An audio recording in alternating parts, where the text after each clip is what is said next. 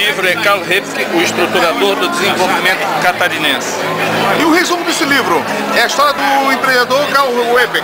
É a história do empreendedor Karl Ripke, um momento importante e crucial na história do estado de Santa Catarina. Ele que no século XIX encontra uma economia praticamente extrativista e coloca o estado numa economia industrial de primeiro mundo, criando as bases para o estado presente da economia catarinense.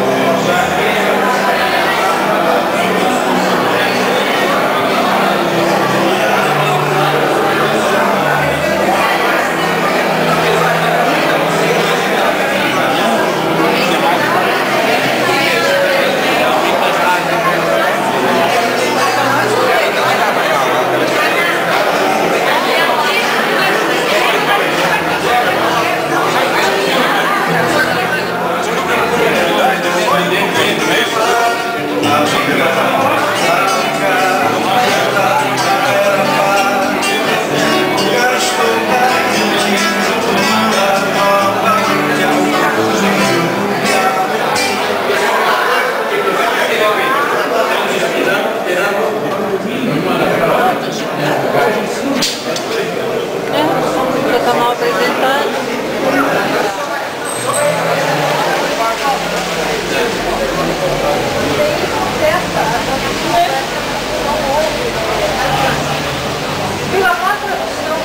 Erros de interpretação.